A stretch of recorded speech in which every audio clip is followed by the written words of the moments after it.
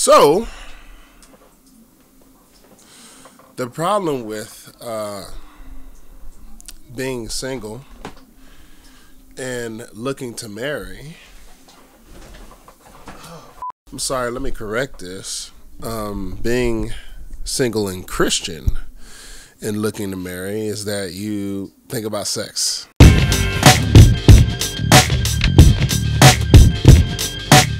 And for passionate people, right? Um, not going into particular details, but for passionate people, um, you know, once again, like this is similar to the last video I did, except I was very, I was very, I was like, uh, this is so uncomfortable. And quite frankly, I'm still like, yeah, but it's okay to be passionate. Um, you know, of course, in, in your walking in your daily life, it's not good to have your mind on the flesh, uh, not have your mind, you know, on on things that can cause you pain. You know, we know that in this Christian walk that there are things that we ought not to think about because these things cause you know, uh, stress, you know, trouble, struggle. And it is through us struggling through our old man and our old mind that we, you know, see the light of Christ, see the light of the gospel, and are transformed by doing something different than what we used to do. Yeah. When you are.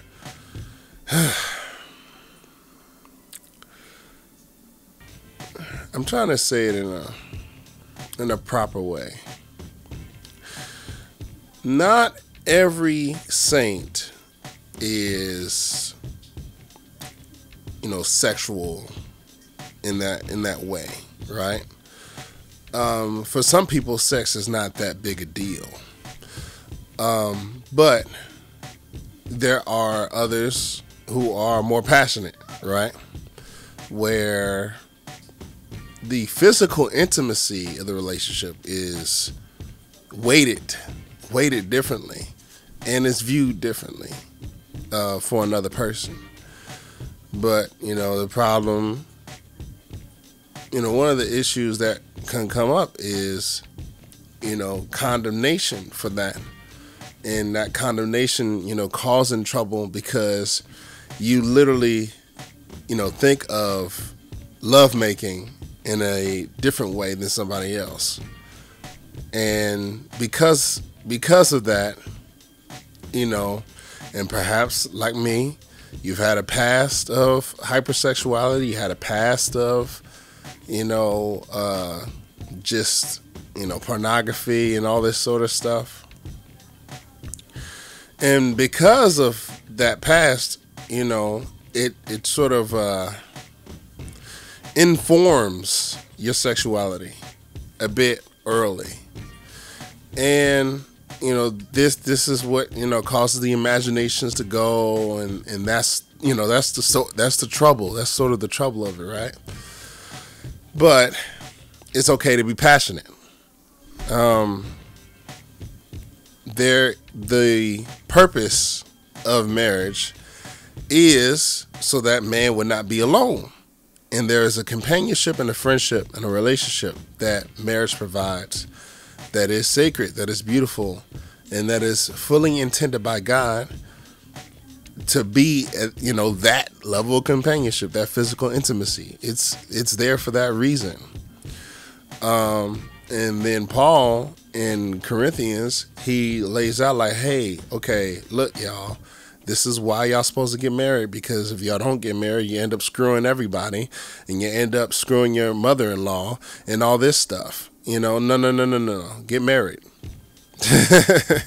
get married. You know what I'm saying? And th- that's that's the purpose of it. I I think you know I'm I'm definitely speaking for myself here, but you know for anyone else that you know it has been wired that way. It's it's so crazy because you know I know for a fact that you know, j- just for my life, I know for a fact that that that side of me, that part of me, God is going to use. You know, it's not a shameful thing.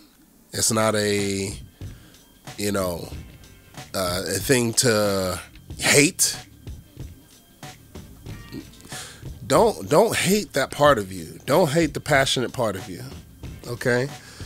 Don't don't hate that part because you know, that's that is a special place and a special thing that you share with your wife or your husband. And because I know, you know, there's no, you know, God God doesn't view that as a bad thing. But the, you know, struggles that I may have, the struggles that you may have, you know, it doesn't, you know, it doesn't allow, you know, the the, the issue is the fantasy, right? You know, I, I said this in my last video. The fantasy, you know, sort of that, that's what puts you in dark places. That's what puts you in a place where, all right, now you need to call on the Lord. Now you need to repent. Now you need to bind and loose. And now you need to do all these things. When it is honestly your sincere desire to, one, have a spouse, and to two, please your spouse. You know? And there's nothing wrong with that. It's okay to be passionate. There's nothing wrong with that part. It's the, you know, uh, the t- right the timing of it because you know it's not time yet for you to enter that stage of life. You know that's that's one thing the Lord did tell me. That's a stage of life. You know when you're ready to, you know, get married. Well, you're ready to, you know, court. You know, proper dating. You know, a couple months.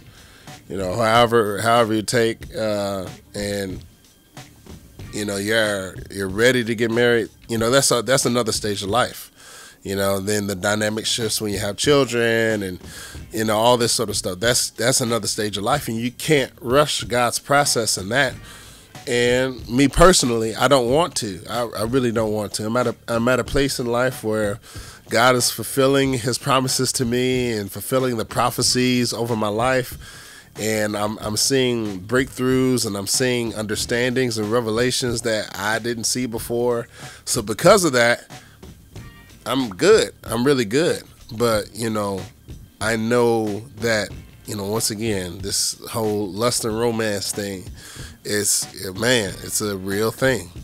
Um, it's, and it's a real, and it's sort of like, you know, uh, Paul said, you know, I'd rather you marry than burn.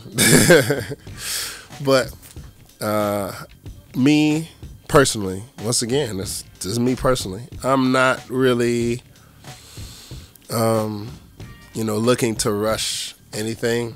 Um, I'm just focused on, you know, what I need to do in the moment and enjoying God in the moment, enjoying my life in the moment. And, you know, getting, you know, having to get regrounded in, you know, where I'm at now and what I need to do now for later. And, you know, just enjoying that. You know, no, no, no rush to get old. Mm, Mama used to say.